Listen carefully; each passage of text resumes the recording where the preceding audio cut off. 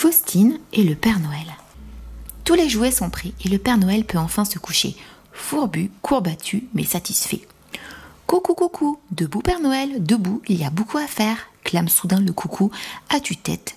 Le réveil est brutal. Pas une seconde à perdre, songe le Père Noël, l'esprit encore engourdi de sommeil.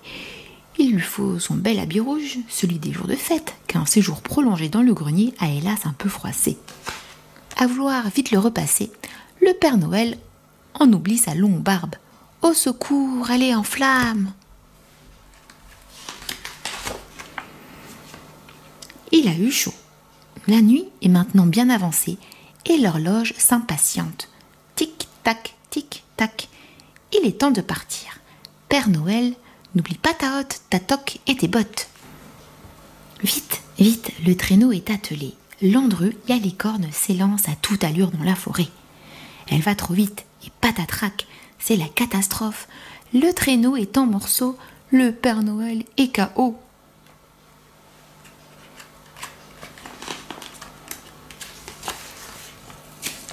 Rassemblant ce qu'il reste de cadeaux, le Père Noël poursuit sa course au grand galop, par mont et par veau. J'arrive à temps, se dit-il en entrant de la ville, quand plouf, un sinistre pont verglacé le jette à l'eau. Ses jouets sont engloutis, ses espoirs aussi. Tenez bon Père Noël, tout n'est pas perdu.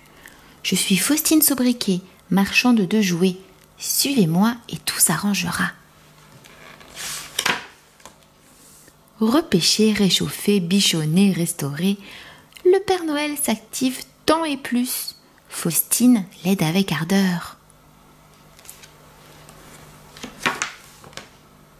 La tournée peut enfin commencer. Il est minuit passé de trois secondes.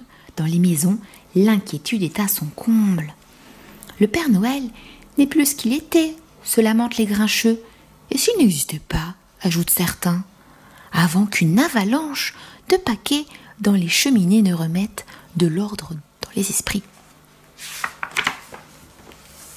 Toute la ville est en fête, comme les cœurs du Père Noël et de Faustine qui depuis ne cessent de battre à l'unisson vite, très vite.